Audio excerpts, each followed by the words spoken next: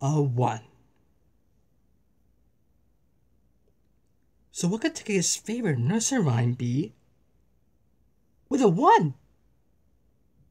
Hmm. I think we definitely have to look out for more Blue's Clues.